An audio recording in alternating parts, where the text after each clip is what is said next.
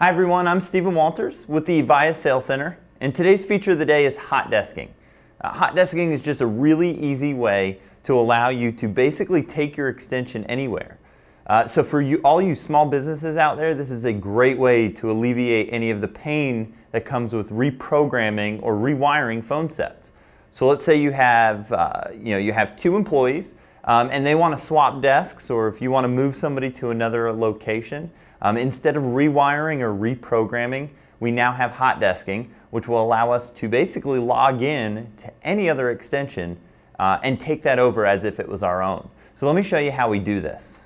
So the best way to show this is I've got extension 201 right here and extension 202 located right here. Um, so if we were to move these desks or if we were to arrange these in any different, uh, any different way, what I would want to do is utilize hot desking here. So for instance, these two are going to swap areas. All we'll have to do is come to extension 202, hit star 36. That will log the physical extension out, and then we'll do the second part of hot desking, which is logging the other extension in. So if I go log in, hit 201, which is the extension, 201, which is our setup password, hit pound, it automatically logs this one in as 201 and it automatically logged this one out of 201. Uh, so I've just completed hot desking and it took me about 10 seconds.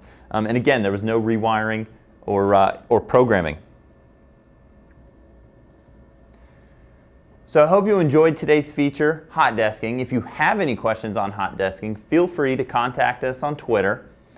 Also, be on the lookout for a new feature of the day as we highlight a top feature on the IP office every day in our new segment on Twitter called Feature of the Day. And as always, thanks for joining and I'll see you tomorrow.